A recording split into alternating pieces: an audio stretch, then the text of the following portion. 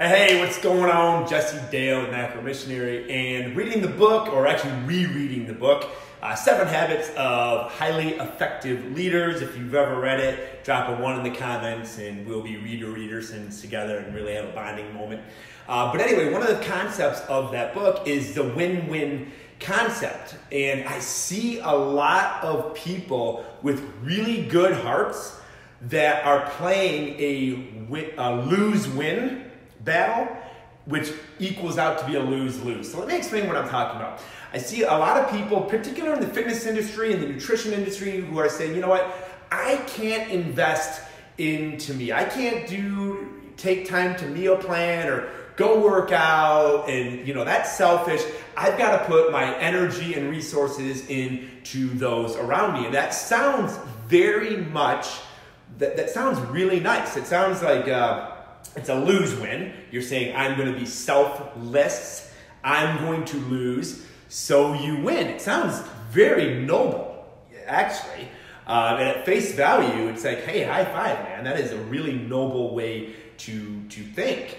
However, what ends up happening when you play the lose win game is it becomes a lose lose. So what am I talking about? How can how can putting those around you before yourself, how can that ever be a lose lose? How can it be a lose? I, I can understand maybe it's a little bit of a loss for you, but how can it be a lose for them? Well, because here's the thing when you don't think win win or you think lose win, okay, you're losing. So now you're building up resentment. You're you're not growing at all. So let's just uh, get, let's just take this home into the wide world of nutrition. So say you're like, you know what, I'm not going to take the time to invest in my health, to do the nutrition I need to do, to do the meal planning. Okay, what's going to be the result of that? The result's going to be lower energy, lower self-esteem. You look in the mirror, you see some things that you don't want to see. You know, your your energy is sluggish. And now, who's losing? Now, remember, you already admitted you, you're already cool losing okay? Because you're trying to selflessly give to others. But now think think bigger picture. Who's ultimately losing? Are they getting the best of you when you're looking in the mirror and you're like, ah, or you're you know you're not fueling yourself right, or you're not meal prepping right, or you're not investing into yourself?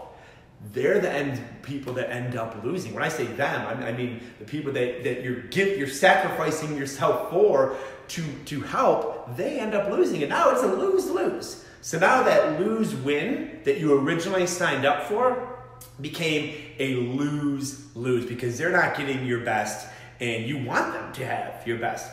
So let's let's talk about what a win-win looks like. A win-win looks like, you know what?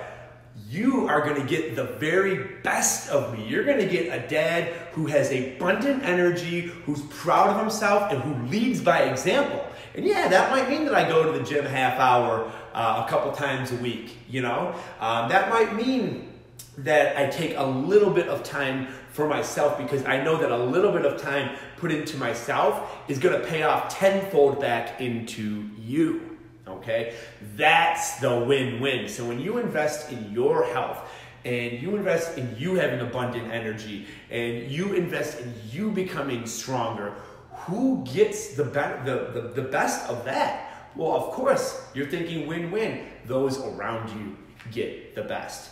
So, uh, you know, just, just some good perspective because I see a lot of people playing the lose win game, the lose win game. And that ultimately graduates into a lose lose game. And none of us want that. So this is just a little bit of extra perspective. Of course, you got to keep things in, in overall perspective. You can't say, you know what, dad's going to invest three hours a day into working out and, and go post nothing but, you know, selfies all about him, him, him. Well, that's a, that's a win-lose. None of us are playing the win-lose game okay? But just remember, the larger your cup, the fuller your cup is. Obviously, if you're watching this, you're a good-hearted human being. So think of good-hearted human beings. What do they do when they have an abundant filled cup? They go and they, they fill up as many cups as, as, as they can. They go out there and they're, they're filling this person's energy cup up and this person's self esteem cup up and, and, and filling up as many cups as they humanly possibly can. And that's you. And that's why you want to play the win win game. So invest in yourself, invest in your health, grow your energy, grow your confidence, invest in yourself because you know what you're going to do with that investment. It's going to compound. You're just going to put it right back into your family community, your community around here, maybe your church community. It's going to go right back into them. All right, rock and roll. Hopefully, this made sense. And we're now willing to think next time we think lose, win, maybe we do a little bit of compromise. Maybe we don't do the full hour workout or, or, or you know, you know, hours of meal prepping, but maybe we say, you know what, I'm to think win win here. I'm to do a little bit of that, do a little bit of a compromise so that we can all win in the long run. All right, rock and roll. You guys have an awesome day.